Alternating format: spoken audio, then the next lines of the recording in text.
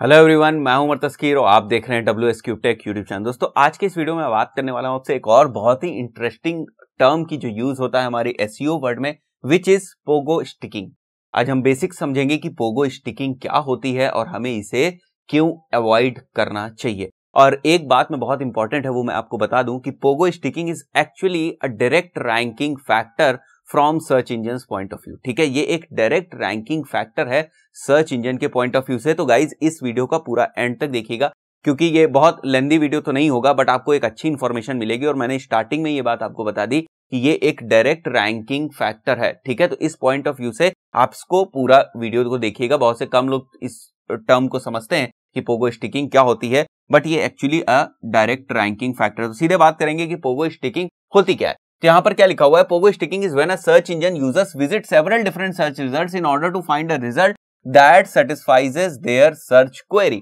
इसका मतलब यह हुआ कि जब यूज़र कोई क्वेरी करता है और क्वेरी करने के बाद एस e में उसे मल्टीपल रिज़ल्ट दिखते हैं, वो इस एक पर्टिकुलर फ़र्स्ट वाले रिज़ल्ट पे जाता है और किसी एक वेब पेज के ऊपर जाता है, वहाँ उसको सेटिस्फैक्शन नहीं मिलता है, उसको वो कंटेंट नहीं मिलता है, वो जो ढूंढ रहा होता है, वो फिर से यहाँ से बैक प्रेस करेगा बैक जो यहाँ पर बैक का बटन होगा, उसको प्रेस करेगा, वापस इस एस पे आएगा सेकंड वाले रिज़ल्ट पे जाएगा थर्ड वाले रिज़ल्ट पे जाएगा फोर्थ वाले रिज़ल्ट पे आएगा, जब तक उसको सेटिस्फैक्शन नहीं मिलता रहेगा, वो मल्टीपल रिजल्ट्स के ऊपर जाता रहेगा। This is actually called as pogo sticking ठीक है, ये जो प्रोसेस है the process which is done by the user जो यूज़र करता है in search of the relevant content उसको, उसके क्वेरी के अकॉर्डिंग या वो जो सर्च करना चाहता है, उसके अकॉर्डिंग उसको रिलेवेंट कंटेंट मिल जाए, इसके लिए क्या करता है, वो इस वाले पेज के ऊपर जाता है। यहाँ पर उसे नहीं मिला, वापस आता है, इसके ऊपर जाता है, यहाँ पर नहीं मिला तो वो फिर से वापस जाएगा थर्ड वाले पे जाएगा, इस तरीके से वो ढूंढता रहता है अपने रिलेवेंट कंटेंट को। वही चीज़ यहाँ पर लिखा है pogo sticking is when a search engine user visit several different search engine result in order to find a result that satisfies their search query जब तक उनकी सर्च क्वेरी सेटिस्फाइज नहीं होगी, तब तक वो इसको बैक कर करके वापस आते रहते हैं। तो ये जो लूप क्रिएट कर रहे हैं this is actually called as pogo sticking अब मैंने ये टॉपिक क्यों लिया है? ठीक है? क्योंकि मैंने स्टार्टिंग बताया आपको कि एक तो पहली बात तो ये डायरेक्ट रैंकिंग फैक्टर है।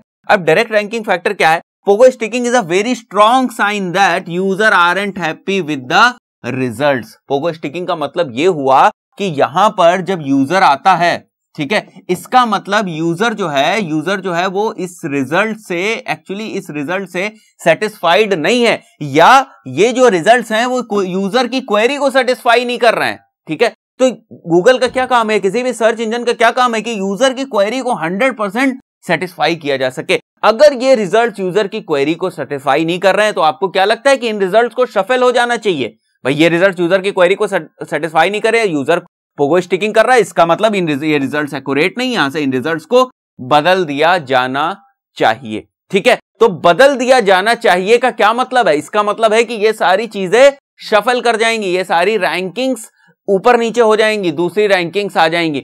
This indication actually goes to the search engine बात क्लियर हुई कि पोगो स्टिकिंग क्या है? भाई यूज़र को उसकी सेटिस्फैक्शन की चीज़ नहीं मिल रही है, उसके सेटिस्फैक्शन का कंटेंट नहीं मिल रहा है। जिससे बार बार सिग्नल सर्च इंजन के पास जा रहा है कि पोगो स्टिकिंग हो रही, यूज़र को नहीं मिल रहा है।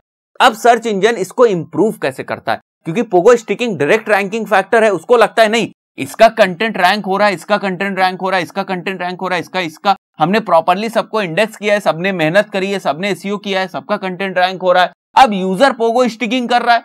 यूज़र को कंटेंट नहीं मिल रहा है, इसका मतलब ये नहीं हो सकता कि शायद ये कंटेंट यूजफुल ना हो। यानी एक सेकंड चांस का सिचुएशन बनती है। भाई हम आए यहाँ पर मैंने कोई क्वेरी करी, मुझे रिजल्ट्स यहाँ पर बहुत सारे दिखे। मैं किसी एक रिज़ल्ट के ऊपर जाता हूँ, मैं सेटिस्फाइड नहीं हुआ, वापस आता हूँ, फिर मैं सेटिस्फाइड नहीं हुआ, फिर वापस आता हूँ तो पोगो स्टिकिंग का सिग्नल तो गया, ठीक है? लेकिन गूगल को क्या लगता है कि यार, ये इन लोगों ने इतनी मेहनत करी है, ये सब सर्च रिजल्ट्स में ऊपर आ रहे हैं, हो सकता है ये क्वेरी रिलेवेंट ना रही हो, ये रिजल्ट्स आ गए क्वेरी के हिसाब से यूज़र इन चीज़ों को जज नहीं कर पा रहा हो, कुछ भी हो सकता है तो यहाँ पर सेकेंड चांस होता है। अदरवाइज़ वो चाहे एक ही बार में शफल कर दे रैंकिंग्स को, ठीक है? तो एक रैंकिंग सिग्नल जाता है कि इस क्वेरी के रिलेवेंट ये नहीं है रिज़ल्ट ठीक है सर्च इंजन को तो उसको शफल कर देगा। इसीलिए मैंने कहा कि पोगो स्टिकिंग एक डायरेक्ट रैंकिंग फैक्टर है। बहुत से कम लोग इस चीज़ को समझते हैं कि पोगो स्टिकिंग एक डायरेक्ट रैंकिंग फैक्टर है। आगे बात करते हैं कि जब गूगल के सिग्नल को जा रहा है, ये बार बार कि पोगो स्टिकिंग हो रही है तो वो सेकंड चांस देने की कोशिश करता है।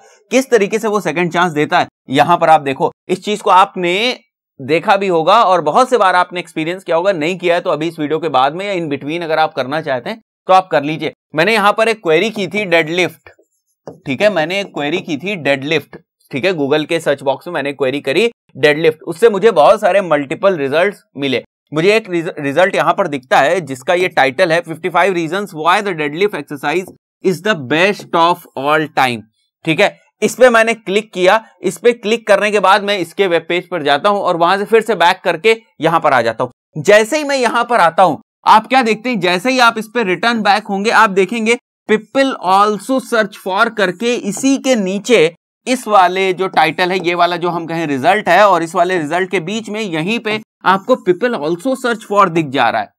ये विंडो और इसमें आपको अलग अलग लिंक्स दिख रहे हैं जो आपको दूसरे पार्ट पे ले जाएँगे। This is actually the second chance which is given to user by the search engine search engine ने दोबारा यूज़र को मौका दिया कि नहीं, ठीक है, आप पोगो स्टिकिंग तो कर रहे हो।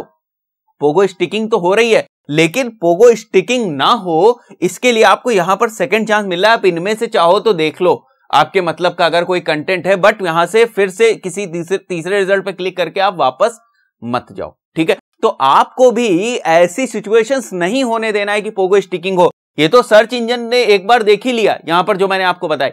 उसके बाद क्या हुआ? आपको किस तरीके से अवॉइड करना है कि पोको स्टिकिंग ना हो? आपके पेज पे इस तरीके का कंटेंट हो रिलेवेंट कंटेंट हो, ताकि पहले ही चांस में अगर आपकी क्वेरी से कोई पेज रैंक हो रहा है, आपका वेब पेज रैंक हो रहा है किसी क्वेरी से तो वहाँ से ही कंटेंट इतना मिले कि वहाँ से वापस ना आए, ठीक है? ये जो बाउंस रेट वगैरह है, ये बहुत दूसरे टाइप की मैट्रिक्स है हम डुअल टाइम की बात करते हैं बाउंस रेट की बात करते हैं दीज आर समथिंग डिफरेंट ये बहुत दूसरे टाइप की मैट्रिसेस हैं। But pogo sticking is something very much close to the rankings ठीक है?